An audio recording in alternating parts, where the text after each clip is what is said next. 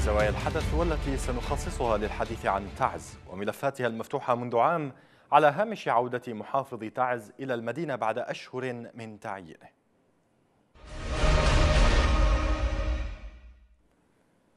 بعد أشهر من تعيينه يعود محافظ المحافظة علي المعمري إلى تعز المدينة التي يلف الإهمال كل ملفاتها العسكرية والإنسانية والأمنية. يعود المعمري وكل هذه الملفات لا تزال على حالها مع وعود كثيرة تكررت منذ بداية الحرب. الملف العسكري والذي كان إنجازه وحسمه في وقت سريع من الأهمية بمكان. هذا الملف لا يزال الغموض يلفه مع تبخر كل تلك الوعود التي تحدثت عن إنشاء ألوية عسكرية مهمتها استكمال تحرير المحافظة وطرد الميليشيا. فيما بقيت المدينة حتى الآن تحت رحمة قذائف الميليشيا على الرغم من كل إنجازات المقاومة خلال الأشهر الماضية. الوضع الإنساني في تعز صار عنوانا لعجز الحكومة والمنظمات الدولية أيضا بعد أن تركت الحرب أثرها العنيف والمفجع على وجه المدينة فيما بقي الجميع يتفرج. دعم المقاومة وملف الجرحى والوضع الإنساني والأمني في المحافظة كلها ملفات تنتظر المعالجة وهذا ما يفترض أن يحدث بعد عودة المحافظ. إذا ما الذي عاد به المعمري من الرياض وما الذي ينتظر تعز؟ هذا هو محور نقاشنا في هذه الحلقة مشاهدينا الكرام. نبدأ النقاش ولكن بعد متابعة هذا التقرير. زيارتان مهمتان في تعز. الأولى وصول محافظ المحافظة المعين قبل أشهر. في أول تواجد له بالمحافظة منذ تأدية اليمين الدستورية. والثانية زيارة الممثل المقيم للأمم المتحدة في اليمن. زيارة المسؤول الأممي تعد الثانية له إلى المدينة وعلى الرغم ما يمكن أن تشير إليه هذه الزيارة على صعيد المساهمة في تخفيف الحالة الإنسانية الصعبة في تعز إلا أن ما جرى خلال العام الماضي لا يوحي أن هذه الزيارة ستأتي بجديد على صعيد أداء المنظمات الدولية في المدينة بعد أن بقيت غائبة عن أجندتها طوال عام كامل رغم كل ما حدث ولا يزال يحدث هناك. تعلق الأنظار بوصول محافظ المحافظة الذي بقي في الخارج منذ تعيينه قبل أشهر. والجميع ينتظر ما الذي عاد به المعمري من الرياض وما الذي ستفعله حكومة الرئيس هادي لتعز. ملفات عديدة تنتظر المعمري بعد عودته. ربما مضى وقت طويل على بعضها وصار الكثير منها مشكلة لا تؤرق تعز وحدها. دعم المقاومة ومعالجة الجرحى وإغاثة المدنيين المحاصرين تحت قذائف الميليشيا منذ أكثر من عام. الوضع الأمني في المدينة واستعادة عمل مؤسسات الدولة وإعادتها للحياة. إن كان لا يزال ذلك ممكنا بعد كل هذا الخراب الذي نشرته الميليشيا في تعز. كل هذه الملفات وغيرها الكثير تبحث عن إجابة لدى المعمري. وفي حين يرى البعض أن المحافظ لم يعد من الرياض سوى بتلك الوعود التي تتكرر منذ عام. ينتظر البعض الآخر أن تكون هذه العودة فاتحة لمرحلة جديدة في تعز. إذا مشاهدينا الكرام للإجابة عن تساؤلات الحلقة سيكون معنا من تعز محافظ المحافظة الأستاذ علي المعمري. مساء الخير أستاذ علي. مساء النور أخي العزيز لك ولمشاهدي قناة بلقيس الكرام. أهلا بكم، أستاذ علي بعد أشهر من بقائكم في الرياض، هل تأتي هذه العودة إلى تعز بعد إنجاز ما ذهبتم فعلا لأجله آه يعني آه لغرضه في الرياض أم أنها فقط يأسا من الحصول على أي من الوعود التي طلبتم بها والتي وعدتم إياها؟ أخي العزيز بعد تعييني محافظا لمحافظة تعز آه، اتجهت إلى الرياض للقاء بالإخوة رئيس الجمهورية والإخوة رئيس الوزراء والوزراء لمتابعة آه، أمور تعز. وبقيت في الرياض لمدة شهرين آه، خلال هذه الفترة آه، يعني قدمت مطالب ومتطلبات المحافظة من ما يتعلق بالجانب الخدمي الآني اللحظي يعني فيما يتعلق بالنظافة، الصحة، التربية في حده الأدنى. وأيضا فيما يتعلق بالجانب الأمني. آه، خلال هذه الفترة قدمنا يعني شرح وافي للاحتياجات لكن آه، الحكومة آه، تعللت بعدم وجود إمكانيات لديها ووعدت يعني أكثر من مرة أنها س يعني تحاول قدر الإمكان الامكانيات لم يتم في الفترة السابقة شيء من ذلك. والأخ رئيس الوزراء الدكتور أحمد عبيد بن دغر وعدني بالتعاون وأنا مستبشر يعني أعتقد أن الدكتور أحمد عبيد بن دغر يعني سيفي بوعده وأنا في تعز قدمت إلى تعز وعلى أمل أن يأتي الدعم وتحويل أموال إلى خزينة أو إلى ماليه إلى محافظة تعز لكي نبدأ بتنفيذ بعض ما يطمح إليه الناس. بعض يعني مثل ما قلت متطلبات الحد الأدنى في الصحة طيب. في النظافة هذه هذه الوعود التي جاءت هذه الوعود معالي المحافظ التي جاءت على يعني لسان رئيس الوزراء فيما تعلقت أو في أي جوانب تعلقت تحديدا؟ أو ما كانت هذه الوعود؟ فقط هو أخي العزيز هو يعني كان هناك توجيه من رئيس الجمهورية بتوفير مبلغ مالي للمحافظة لإدارة شؤون المحافظة. ووزير المالية آه، يعني خلال فترة شهرين آه، تحقق وقال أن لا يوجد أموال لا يوجد أموال. لكن آه، الدكتور أحمد وعدني بأنه سيضغط على وزير المالية وأنه خلال الأيام القادمة سيتم تحويل جزء من ما حول به رئيس الجمهورية. نأمل أن يتم طيب كم كم كان المبلغ الذي وجه به رئيس الجمهورية؟ ترى؟ ما لا داعي للتفاصيل لكن هو مبلغ مبلغ بسيط يعني. لكن مثل ما قلت إحنا قلنا هذا أي مبلغ نستطيع ان ان ان, أن نسير به لكي تعرف يعني ما حول به رئيس الجمهورية المحافظة تعز 6 مليون دولار. ونحن منتظرين ان ان ان يتم يعني آآ يعني أن يقوم وزير المالية بتلبية أو يعني تنفيذ توجيهات رئيس الجمهورية وتحويل المبلغ إلى حساب محافظة تعز 6 مليون دولار على اعتبار أنها يعني موازنة تشغيلية للمحافظة لبقية هذا العام يعني إلى نهاية هذا العام، طيب إذا ما تحدثنا عن الملفات الأولوية التي حتى تعد الآن من حتى الان نعم. حتى الآن نحن مثل ما قلت نؤمن الخير والأخ رئيس الوزراء متفاعل نعم. جدا ووعد أن خلال الأيام القادمة آه، سيقوم بتحويل هذا المبلغ إلى إلى إلى إلى موازنة المحافظة بإذن الله. طيب آه، يعني إذا ما تحدثنا الآن عن أهم الملفات آه، التي تنتظرها تعز أو التي يجب معالجتها في بداخل المحافظة، حدثنا عن أولوياتكم. أخي العزيز تعز تحتاج كل شيء، تعز لم يبقي فيها الإنقلابيون شيء، لم يبقي حجر على حجر، دمر كل شيء. نهبوا كل شيء، تعز تحتاج لكل شيء، لكن أنا أعتقد أن أهم قضية يفترض أن يعني يتم الشغل عليها ويتم يعني آه، البدء يعني إنجاز شيء فيها. موضوع الجرحى اولا وموضوع الأمن في المدينة، أعتقد أن هذين الملفين هم أهم ملفين. وأيضا أيضا يعني فك الحصار آه، تحرير تعز هذه ملفات مهمة تحتاج إلى جهد وإلى مال. سنحاول يعني مثل ما قلت ننتظر الدعم إن شاء الله وبعد ذلك يمكن أن نبدأ بتنفيذ ما يمكن تنفيذه من خلال بعد وصول هذا الدعم. لكن موضوع الجرحى وموضوع الأمن هم أهم موضوعين طيب إذا ما تحدثنا أكثر عن هذا الموضوع آه، أستاذ علي فيما يخص ملف معالجة الجرحى كيف يتم التعامل مع هذه المشكلة كانت هناك مطالب بإعادة تأهيل عدد من المستشفيات بدلا من ترحيل الجرحى إلى الخارج. إلى أين وصل هذا الموضوع؟ وما مدى التجاوب الذي حدث من قبل سواء الحكومة أو المنظمات المختصة في هذا المجال؟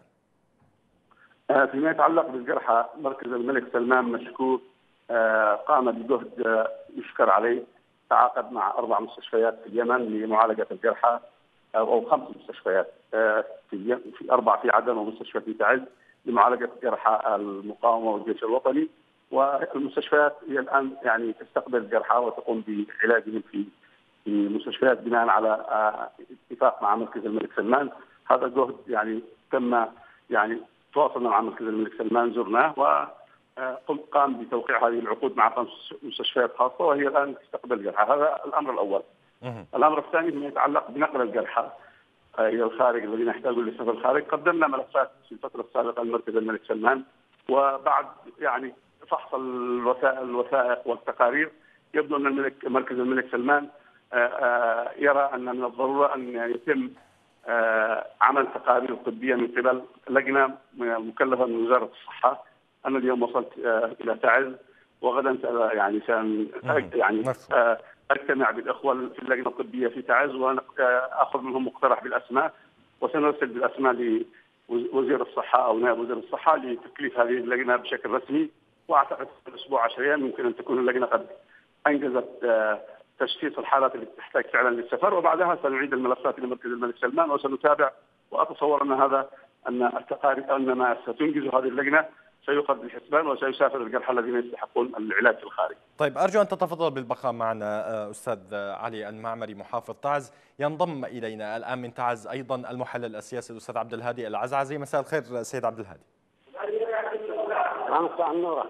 أهلا بكم. آه، سيد عبد الهادي يعني تأتي عودة المحافظ إلى تعز في ظل هذا الوضع الذي تعيشه المدينة. هناك استمرار في الحرب هناك أزمة إنسانية كبيرة. ما هي الآمال المعقودة على عودة المحافظ في تغيير هذا الواقع المر؟ أعتقد أن عودة المحافظ تشكل حالة نفسية عامة للمواطنين عموما في محافظه تعز الناس تبحث دائما عن ذلك قاعدة تناقشت مشكلاتها المتعلقة بشكل بشكل عام. بمسألة يمكن التعامل مع ملفات لا زالت شائكة داخل محافظة تعز بشكل أساسي وجود المحافظ سوف يسهل فيها كثيرا المحافظ لا يمتلك عصا سحرية أيضا لكن تحتاج تعاون الجميع مع المحافظ سواء الاخوه في المقاومة أو مجالس الثقل. نعم. أستاذ عبد الهادي؟ إذا يبدو أننا فقدنا الاتصال بالأستاذ عبد الهادي العزعزي. أعود إلى سيادة المحافظ. إذا ما تحدثنا أكثر فيما يخص الإجراءات التي ستعمل بخصوص المستشفيات. آه، هل حدثت لنا أكثر عن من هي المستشفيات المستهدفة؟ آه، كيف يعني سيتم التعامل مع الجرحى؟ آه، هل هناك ملفات أكثر أو طرق تنظيم وتنسيق أكثر بهذا الخصوص؟ أخي العزيز ما يتعلق بالمستشفيات مركز الملك سلمان تعاقد مع أربع مستشفيات مثل ما قلت في عدن الروضة والنقيب عفوا النقيب والوالي وصابر والبريدي. وفي تعز تعاقد مع مستشفى الروضة. المركز هو من يتابع هذا الموضوع لكن هذه المستشفيات بموجب العقد تستقبل جرحى وتعالجهم وتكاليف علاجهم دفع يعني تم دفعها من قبل مركز الملك سلمان. طيب باختصار شديد هذا هناك من يتحدث عن ضرورة تأهيل آه، مستشفى خليفة في التربة، هل هناك إشكالية بهذا الخصوص؟ مستشفى خليفة فعلا يحتاج لتأهيل وهو آه، فيما لو أهل سيغنينا كثير عن يعني كثير من الإشكالات المتعلقة بالجرحى. سيخفف كثير من عناء الجرحى لأنه يقع في منطقة في جغرافيا مهمة جدا. هي منطقة واقعة يعني خلف آه، جبهات قتال بدل من السفر الطويل إلى عدن يمكن أن يستقبل الجرحى في في في مستشفى في مستشفى نعم. خليفة. قبل أسبوع تواصلت مع الأخ السفير القطري وسفير قطر في اليمن و آه، يعني تحدثت معه بخصوص آه، آه، مستشفى خليفة. وطبعا قبل ذلك يعني إحنا سلمنا ملف جاهز متكامل إلى الإخوة القطريين فيما يتعلق باحتياجات المستشفى بشكل عام. لكن يعني تواصلي مع السفير القطري انه مطالبنا فيما يتعلق بالمطالب الضرورية والملحة والتي لا يمكن الاستغناء عنها زرت مستشفى خليفة أول أمس طلبت منهم تقارير التقارير الموجودة لدي آه سأتواصل مع السفير القطري إن شاء الله خلال يومين لأرسل له يعني بمتطلبات الضرورية لمستشفى خليفة وأتمنى الاخوه القطريين مهتمين طبعا بمستشفى خليفة طيب. أتوقع ان الاخوه القطريين سي يعني يتجاوبوا مع مطالب مستشفى خليفة، فعلا مستشفى خليفة مستشفى مهم وتأهيله سيخفف كثير من مشكلات الجرحى وحتى المواطنين. هو واقع في منطقة فيها طيب إذا انتقلنا إلى ملف آخر سيادة سيادة المحافظ وهو ملف الإغاثة خصوصا وأنكم التقيتم اليوم بممثل الأمين العام للأمم المتحدة، هل هناك وعود من قبل المنظمات الدولية بالمساعدة في هذا الجانب؟ اليوم كان لقاءنا بممثل الامم المتحدة في اليمن. ناقشنا موضوع الاغاثه والصحة وما يتعلق بالتربية وكثير من القضايا. آه، هم أبدوا استعداد للتعاون آه، الإخوة المختصين في هذا في هذه الملفات آه، عاتبوا كثيرا الأمم المتحدة في موضوع الإغاثة وأن هناك منظمات يفترض أن ان ان يكون لها دور أكبر في اغاثه في الاغاثه في محافظة تعز. وانها قصرت وأن ووعد بأن بانه سياخذ هذه الملاحظات بعين الاعتبار وسيتواصل مع منظمة الأغذية العالمية ومنظمات ذات علاقة بالإغاثة. ونحن نتمنى ان أن تتحقق هذه الوعود. اللقاء كان جيد و يعني مثل ما قلت موضوع الصحة أيضا هناك يعني دعم يقدم من الأخوة في الأمم المتحدة. في منظمات اليونيسف تقدم أيضا دعم فيما يتعلق بالنظافة. هذه المنظمات تقدم دور لكن ليس الدور المطلوب والمؤمل. نحن يعني نتمنى على هذه المنظمات أن يكون دورها أكبر خاصة أن نكبة تعز ويعني مشكلات تعز أكبر مما يتصور والجهد الذي يقدم حتى لا لا يعني يتناسب مع مع ما يحتاجه أبناء المدينة من من من عون ومساعدة من هذه المنظمات. طيب إذا ما انتقلنا يعني بشكل أخير إلى أحد أهم الملفات الملف الأمني فيما يخص هذا الملف ملف الأمن واستعاده مؤسسات الدولة ما هي الأولويات والترتيبات التي سيتم العمل وفقا لها أستاذ سالم؟ مثل ما قلت أخي الكريم أنا اولا سألتقي بالاخوه يعني قد التقيت بالاخوه في القيادات العسكرية وسألتقي بالاخوه في مجلس تنسيق المقاومة سألتقي بالإخوة قاده الأحزاب بتعز بشخصية اجتماعية. سأحاول أن ألتقي يعني كل الشرائح الموجودة الشرائح الاجتماعية والسياسية الموجودة في تعز. أسمع منهم يعني آخذ منهم بالتأكيد هم سيطرحون قضايا كثيرة في ونصائح كثيرة ما يتعلق بالأمن. وبناء على هذه اللقاءات وهذه الاجتماعات يمكن أن يعني يتبلور لدي تصور فيما يتعلق بالأمن، لكن لا أريد أن أكون يعني أعطي مثل ما يعني وعود يعني أكثر مما مما مما نعم. يمكن عمله، أنا قلت في بداية حديثي أنني حتى الآن لا أمتلك إمكانيات وأنه آه الجهد سيبذل وأنه ننتظر آه الموازنة التي ستأتي من الحكومة إن شاء الله في الأيام القادمة بحسب ما وعدنا. وأنا قلت أنا اسف كثير بوعود الدكتور أحمد عبيد بن دغ وبعدها عند وصول الإمكانيات يمكن الحديث عن خطط وعن يعني آه، آه، يعني كيفية يمكن يعني كيفية إدارة الأمن آه، الملفات. الحديث عن الأمن بشكل مفصل. لكن الآن حتى الآن ما أستطيع أن أقول أن أننا يعني سنحاول أن أن نضبط الأمن بما هو موجود ومتوفر حاليا وبدعم من الاخوه الجيش الوطني ومجلس تنسيق المقاومة. إذا نتمنى لكم كل التوفيق في آه، ضبط هذه الملفات وإدارتها. آه، محافظ آه، محافظة تعز الأستاذ علي المعمري كنت معنا عبر الهاتف من من تعز من هناك. أشكرك جزيل الشكر. كما ينضم إلينا الآن مشاهدينا الكرام من تعز أيضا رئيس ائتلاف الإغاثة فيها الدكتور عبد الكريم شمسان. مساء الخير دكتور. مساء النور أخي. لك ولجميع المشاهدين الكرام. أهلا بكم. دكتور يعني مع وصول المحافظ وزيارة ممثل الأمين العام للأمم المتحدة إلى تعز هل تتوقعون أن تحدث انفراجة فيما يتعلق بالإغاثة بهذا الملف في المحافظة؟ بسم الله الرحمن الرحيم. الحمد لله والصلاة والسلام على رسول الله. نشكر قناة البلقيس وجميع القنوات المهتمة بالقضية اليمنية بشكل عام. وقضية تعز بشكل خاص بالنسبة لنا نحن سنظل مادين أيدينا لأي عملية تعمل على انفراج المشكلة أو انفراج حتى الجانب الغذائي والإغاثي في محافظة تعز بشكل عام. لكن هذه هي المرة الثانية التي يزور فيها المبعوث الاممي محافظة تعز ورغم أنه زار في المرة السابقة زيارة لكن لم تحصل انفراج وهذه المرة الثانية نعول عليها. لم يكن عندنا يأس بأنه لو زار مرة واثنين وثلاثة وأربعة لن يحصل انفراج مهما كان لازم اننا نكون عندنا نية طيبة نستقبل الناس ونفتح لهم صدورنا وأيدينا في عملية الإغاثة. لا لا نيأس ولا نيأس الآخرين بأنه لن يحصل انفراج لكن حقيقة في المرة السابقة وإلى الآن ما زال الموضوع كما هو والمدينة تشكو من غياب المياه والكهرباء والنظافة والصحة وخدمات التعليم إلى غيرها من هذه المشاكل التي تعاني فيها المحافظة. في الشهر السابق مثلا من شهر أربعة هجر أكثر من ستة ألف يعني عائلة من منطقة الوازجية وقتل في ذلك الشهر حوالي 59 وجرح 377 مواطنا في محافظة تعز وإلى الآن ما تزال المحافظة كما هي محاصرة نسأل الله أنه يفك عن هذه المحافظة وجميع البلدان وجميع المحافظات اليمنية طيب ما هي الوعود التي يعني أنتم كما فهمنا أنه كان هناك لقاء مع ممثل الأمين العام للأمم المتحدة هل كانت هناك وعود بإدخال مواد إغاثية إلى المحافظة؟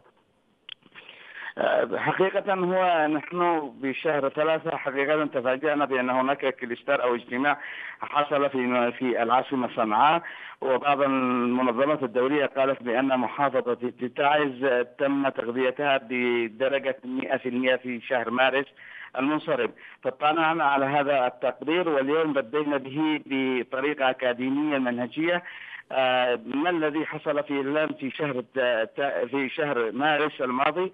بأنه يعني التغذية وصلت إلى درجة 100% وسلمنا تقرير مفصل من جميع المنظمات وبالذات المنظمات الكبيرة في محافظة تعز بأن ذلك الكلام ليس بصحيح.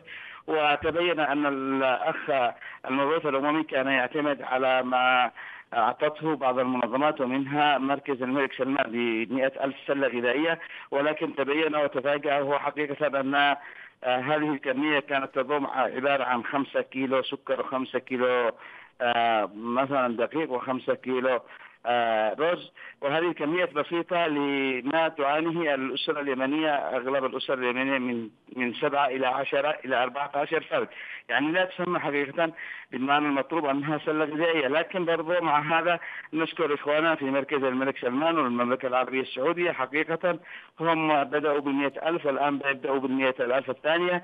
ففعلا حصل اللبس ووضحنا له اللبس في هذا الجانب إلا أنه جاء مركز على قضايا ثلاث وهي قضية الصحة والتعليم والمياه وتحدث عن هذا الجانب كان يبدو أنه ربما تقرير شهر مارس قد أثر عليه بأن التغذية وصلت إلى درجة 100% ووضحنا له أن في ذلك في مارس ربما هو أحسن الأشهر لكن التغذية لا تأتي لمحافظة طيب ما هي الاحتياجات؟ أشهر أستاذ عبد الكريم يعني آه، دكتور عبد الكريم ما هي الاحتياجات الحقيقية للمحافظة؟ ما مدى هذا الاحتياج وفقا للتقارير التي آه، قمتم بها؟ نحن حقيقة كنا بالنسبة للرد أنه عن شهر مارس كان عبارة عن تقرير وقعت عليه أغلب المنظمات كما قلت لك. نعم. وكذلك احتياجات المحافظة قدمناها اليوم أيضا آه، بمسودة سلمت له ورقية وتسلم له أيضا إلكترونيا. وذكرنا فيها احتياج المحافظة بشكل عام. محافظة يربو فيها السكان عن 3 مليون و200 ألف نسمة. آه، أعطيناه احتياجات المحافظة بشكل عام في مجال الغذاء والمياه. والتعليم والصحة والنظافة والطاقة ومراكز الإيواء. أي بشكل عام دراسة مضبوطة عبارة عن اجتماع ورشات من جميع المتخصصين من كل في مجال تخصص الطب للمتخصصين وكذلك في مجال المياه والتغذية. ورفعنا هذا الملف وسيرفع إن شاء الله إلى بقية المنظمات الدولية ناهيك عن مركز الملك سلمان أو غيره بإذن طيب الله. هل حدثتونا أكثر عن الأرقام بداخل هذا التقرير؟ أرقام وإحصائيات حول مدى الاحتياج يعني سواء في المجال آه، كما تفضلت مجال التغذية مجال الصحة مجال التعليم إلى آخره من من الاحتياجات. يا أخي حقيقة هو في شهر مارس وزعت 192 ألف سلة غذائية لحوالي 500 ألف أسرة. هذا في شهر مارس. في الشهر الذي وراه ثم في الشهر الذي وراه بمعنى آخر أن محافظة تعز آه، أعلنت الحكومة وعرف كل أن محافظة تعز مدينة منكوبة. وفي ذلك بمعنى ذلك أن جامع أن محافظة تعز تحتاج إلى التغذية من 300 إلى 400 إلى 500 سلة غذائية كل شهر. 500 ألف. 600 ألف سلة غذائية لجميع الأسر. لأن جميع الأسر صارت حاليا هي محتاجة. أما في مجال مثلا الجرحى هناك من 1200 إلى إلى 1500 جريح لم يتم تسفير لم يتم تسفيرهم. هذا برضه ملف يعني يشكو منه جميع أسر هؤلاء الجرحى. في مجال المياه تحتاج محافظة تعز إلى ست إلى سبعة إلى سبعة مليون لتر في اليوم الواحد. ومع هذا الآبار المتوقفة مشروع المياه حق الدولة متوقف. وصارت الآن حقيقة بعض المنظمات التي تقوم بعملية إيجاد المياه. أو هناك الناس يستعينون في الأيام الأخيرة الحمد لله بمياه الأمطار. في مجال آه، مثلا الطب نفس الكلام 95% ما زال من المستشفيات مغلقة في المحافظة بشكل عام. حوالي ثمان إلى تسع مستشفيات هي تعمل منها الثورة والجمهوري والروضة والصفوة والسويدي. ناهيك على أن هناك بدأت سوء التغذية تظهر في المحافظة. هناك أكثر من 1200 طفل يعانون من سوء التغذية حقيقة وكذلك النساء. هناك بعض النساء حقيقة أيضا بحوالي من, نعم. من 2000 إلى 3000 امرأة أيضا تعاني من مشاكل أسرية بسبب فقدان العائل. آه، هناك مآسي حقيقة في المحافظة كثيرة طيب. جدا وبالذات في, في الجانب النفسي الآن. بدأ طيب ماذا عن المستقبل؟ أستاذ عبد الكريم دكتور عبد الكريم ماذا عن المستقبل الآن؟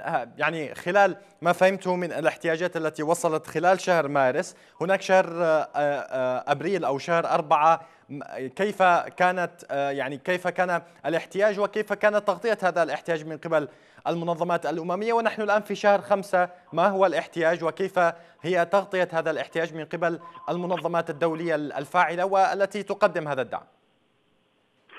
حقيقة إحنا في شهر يعني أربعة الائتلاف الإغاثة الإنسانية يضم أكثر المنظمات العاملة في المحافظة بلغ حوالي 40 ألف سلة غذائية. لكن 40 ألف سلة غذائية هذا لا تعمل شيئا. بعض المنظمات حقيقة ربما في شهر خمسة الآن بدأ الغذاء العالمي في بعض المديريات ومنها مديرية الشمايتين وأوصل حوالي 3514 سلة غذائية إلى مديرية القاهرة. وهي الآن موجودة في مديرية القاهرة.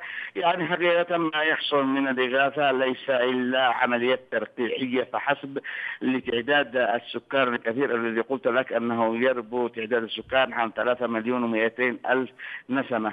بعض العوائل حقيقة تشكو يعني فعلا لا تجد بالذات في مجال الغذاء. الشد حاليا ربما اليوم كان المبعوث الأممي هو يعني يتكلم عن الماء والتعليم والصحة لكن ليس هؤلاء ليس الغذاء. لم يتطرق إلى الغذاء نعم. هذه طيب آه نعم. لكن دكتور ليس, نعم. ليس حال أكثر حالا من هذه العمليات الثلاث. لكنه قلت لك ربما هو كان متكئ أو معتمد على تقرير شهر مارس لكن شهر الشهر الرابع كان أسوأ. وهذا الشهر ربما نأمل أن يكون أفضل من طيب. الشهر الذي قبله. وضحت الفكرة دكتور. طيب يعني بسؤال أخير هل هناك يعني حركة أكثر في المجال الدخول والخروج ودخول البضائع إلى داخل المدينة أم أن لا زال الحصار مطبق على هذه المدينة؟ ما هو الوضع الإنساني بشكل عام بعيدا عن الجانب الإغاثي والتقارير هذه والأرقام هذه؟ شوف هو بشكل عام ما زالت المحافظة حقيقة. نقولها بالفم العريض ما زالت المحافظة محاصرة كما هي. حتى أيام الهدنة التي أعلنت عليها واللقاءات التي تحصل في الكويت لكن ما زال المحافظة محاصرة كما هي لم يحصل انفلاج على سبيل المثال نحن معنا مثلا أكثر من 20 طن علاجات من الصحة العالمية. هذا الكمية موجودة في خارج مدينة المحافظة في منطقة تسمى النشمة. لم تستطيع إدخالها لأن المنطقة حقيقة محاصرة. ولو أدخلناها من الطريق التهريب ما يسمى من جبل طارق هذا يكلف أحيانا تصل إلى أن إلى أنك تشتري من الداخل. ربما أفضل من أنك تأتي بهذه المعونات من عدن يعني ما زالت فعلا الوضع الإنساني مأساوي بل أكثر من هذا اليوم شفنا إحدى النساء في مستشفى نعم. الروضة أنها حصلت لها جلطة دماغية بسبب أن ابنها وأخوها قتلوا. يعني بدأ الناس الآن يعني فعلا تظهر فيهم بعض المساوئ نتيجة لما يعانونه سواء من الحرب أو الحصار. نعم دكتور. إذا الدكتور عبد الكريم شمسان رئيس ائتلاف إغاثة تعز كنت معنا عبر الهاتف من هناك. شكرا جزيلا لك. بهذا مشاهدينا الكرام نكون قد وصلنا إلى ختام هذه الحلقة. أشكركم على حسن المتابعة والإصغاء.